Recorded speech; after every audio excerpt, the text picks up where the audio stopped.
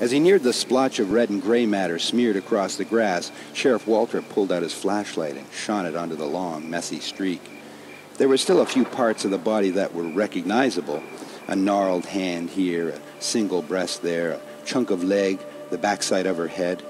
It all looked so delicious.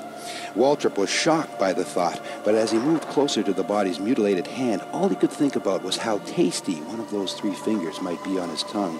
How high had that fever been last night? He tried to remember. 103 Fahrenheit? Maybe more. He reached down, broke off one of the fingers, and slipped it into his mouth. It felt good to be eating solid food again.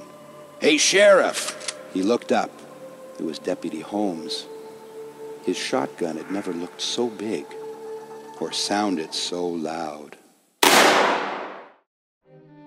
Edo oh Van Belkom is Canada's premier horror author, the winner of many awards, including the likes of the Bram Stoker, Aurora, and Silver Birch Awards.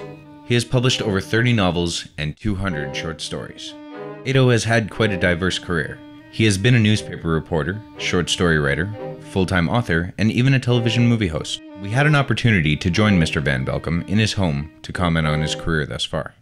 People have asked me why I chose writing as my profession, but it really it chose me.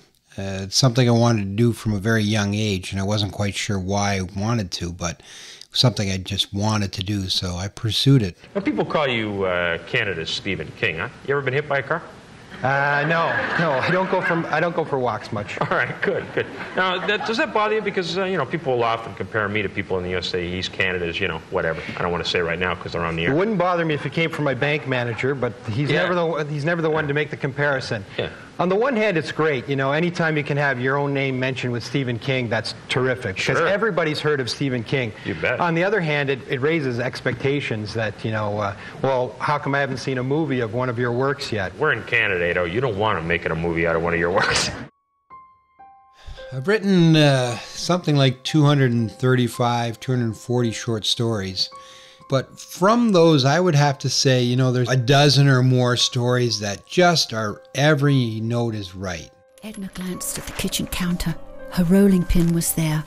A chipped and cracked rolling pin made out of marble she'd found years ago in a dumpster. There's a story uh, based on, you know, uh, Robert Bloch's style of writing called The Rug, which turned out really, really well. She stared at the rolling pin for what seemed like forever. And then finally picked it up You Gotta have a piggy bank here somewhere, or maybe a roll of pennies. and let it fall. When you work as a full time writer, you end up doing a lot of things that are like writing or related to writing, but not really writing. I've taught at universities and colleges. I've done uh, magazine articles and book reviews. I've done a lot of school visits. But by far the best job related to my horror writing was as a movie host on Scream TV. Hi, I'm Edo Van Belkom, and welcome to Postmortem here on Scream.